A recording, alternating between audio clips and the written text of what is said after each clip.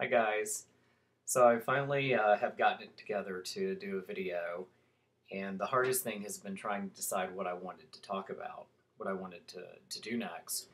And um, so in December, I had gone through some of my uh, boxes of fragrances, and I pulled out a Chanel fragrance that I have not worn in a long, long time. And it is uh, Egoiste from Chanel.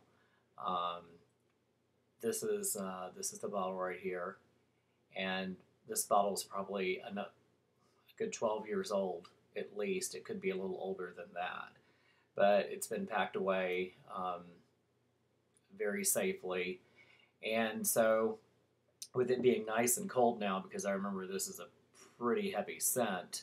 Um, I tried it on, and um, it was just as I remembered. So that that's good to know. It, has, it hasn't turned yet, so it was pretty much exactly as I remember it being. And um, this fragrance came out in 1990, and like I said, this is the original Egoiste. This is not the platinum edition or version. Um, and uh, so this fragrance was 1990. The top notes are mahogany, Sicilian mandarin, Brazilian rosewood, and coriander, uh, with middle notes of carnation, cinnamon, and damask rose, and a dry down of leather, sandalwood, vanilla, tobacco, and amber. So, pretty much uh, everything I love in the dry down and in the middle as well. And this fragrance is the best way to kind of describe it, you know, what you're going to end up with is kind of like a smoldering fire. And not because it's smoky, it's smoky a little bit, um, but mainly because of its warmth. I mean, this is a this fragrance will keep you warm at night. I mean, it is just so dense. I mean, and it was funny. So, not having worn this in a long time, when I first put it on, I'm like, what? What is this making me think of? And um, and I and it, and it and it reminded me of this fragrance. It's not really an alternate to it, but it, it has some similarities to um, Musk Ravageur and I have th- that on the other arm here. And Musk Ravageur is a bit smoother than the Egoiste is. And I looked up the notes to compare, and Musk Ravageur shares three notes with Egoiste uh, cinnamon, sandalwood, and vanilla. And so that's it, which are all basically in the middle and in the dry down. But I mean, because both of these scents are heavyweight scents or bold scents, uh, warm as well. I mean, they're just they they favor a teeny bit, um, enough to make me think of Musk Ravageur, but yeah, the Musk Ravageur is a tiny bit smoother. That's the best way to describe it. But this is like, oh my goodness, yeah, this one is definitely you know, winter only. Honestly, I just don't know how you can get away with wearing it during warm summer months. And um, I did some looking around on websites to see, well, who still sells the Egoiste?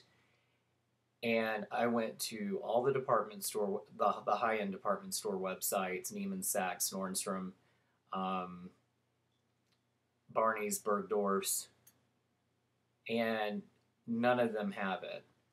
Perfumania doesn't have it either, and FragranceNet doesn't have it. The only place that I could find um, the East for purchase, um, well, there's two places. Um, Amazon has it, and eBay has it. It's probably safer to order from Amazon than it is eBay. If you're going to order from eBay, I'd try and get some references, talk to people in the community that have ordered from eBay and find out who's respectable and who isn't. I think Teresa and I think Will knows some people or a person or two on eBay that is definitely um, respectable and safe to order from.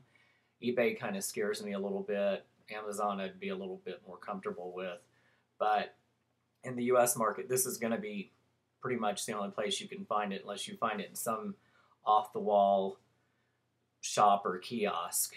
Um, it's still, I remember seeing it in duty free in Europe in September, and um, but over here in the U.S. market, it's just going to be very, very hard to find.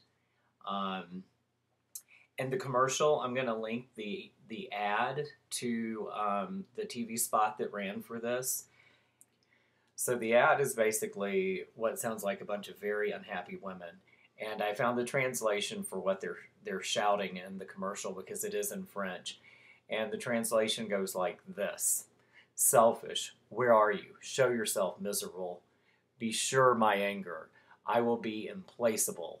O oh, rage, O despair, O my betrayed love. Have I been living then so much for that this is infamy? Show, show yourself selfish, selfish, selfish, selfish. Like, alrighty.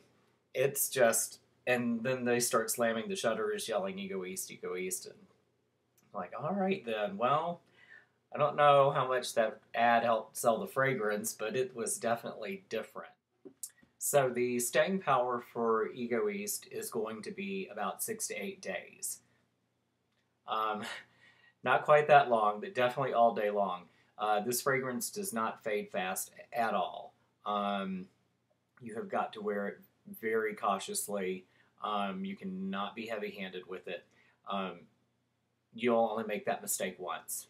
It will only take one time, and then you'll never do that again. So uh, very gently with this. This fragrance is probably the, the boldest fragrance Chanel had done since Antaeus.